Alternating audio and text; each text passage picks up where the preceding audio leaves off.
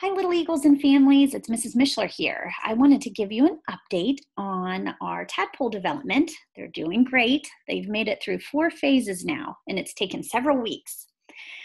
Um, in the packet, the very first packet that I sent you, we started our journal.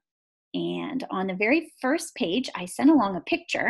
Um, and on the first page, we were recording the first observation of our tadpoles. And as you can see, that happened on April 1st. That was over a month ago.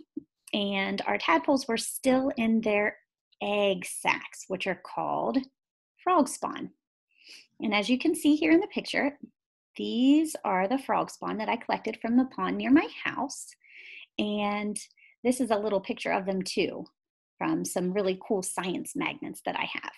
As you can see, there's a little bit of a difference um, frog spawn actually have a little curl to them. They start out as a little dot and then begin to curl as their bodies develop inside the eggs.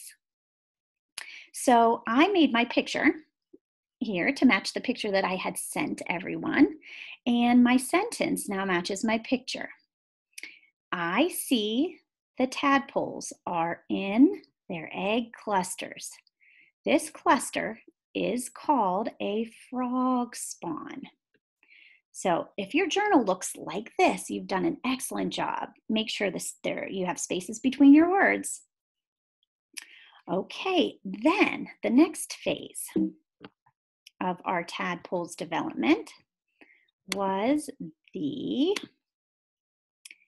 hatching the tadpoles hatched. And when they hatch out of their egg, they look just like this little picture in the magnet below. You can see the little eye, a long tail, and a short little chubby body. And you can see them in the picture um, swimming around. This is what they first looked like really tiny and pretty skinny. And then they developed into a little bit more of a plump body. You can see them here. Now, again, I made my picture match the photo, and you can see the the spawn is empty. There are no more eggs in, or there are no more tadpoles inside the eggs. They're all out swimming. And my sentence matches the picture. I see the tadpoles hatch and begin to swim. So they spend some time in this phase, several weeks actually, until something really special happened. They developed front legs. And as you can see, it has taken some time for that to happen. Uh, they did started to develop their front leg or their back legs, excuse me, on April 27th. So several weeks passed and here they are. Their little back legs. And as you can see in the pictures, they use their back legs to swim around. They don't rely only on their tail. Their, their back legs help to propel them a little bit. And as you can see, my picture matches the photo. Their little back legs there, and my sentence matches the picture. I see tadpoles that have back legs. Okay, and now the final stage in the development, we're up to date on May 8th. That is today.